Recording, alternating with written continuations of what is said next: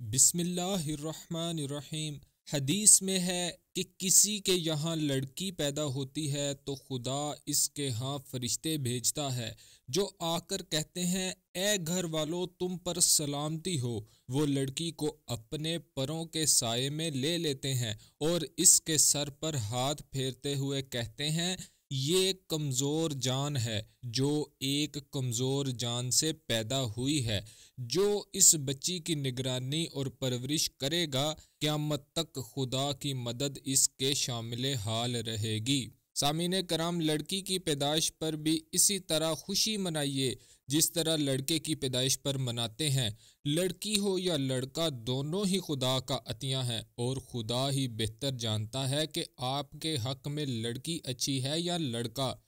लड़की की पैदाइश पर नाक भवें चढ़ाना और दिल शिकस्ता होना मोमिन के लिए किसी तरह जेब नहीं देता।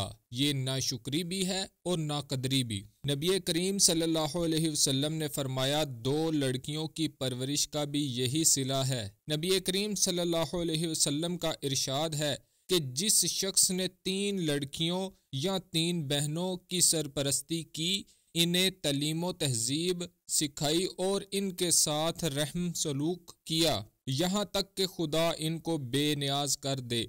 तो ऐसे शख्स के लिए खुदा ने जन्नत वाजिब फरमा दी। इस पर एक आदमी बोला, अगर दो ही हों तो? नबी करीम सल्लल्लाहु अलैहि वसल्लम ने फरमाया, दो लड़कियों की परवरिश का भी यही सिला है। हज़रत इब्ने अब्बास रज़ी अल्लाह फरमाते हैं कि अगर लोग एक के बारे में पूछते तो आप सल्लल्लाहु अलैहि वसल्लम एक की परवरिश पर भी यही बिशारत देते।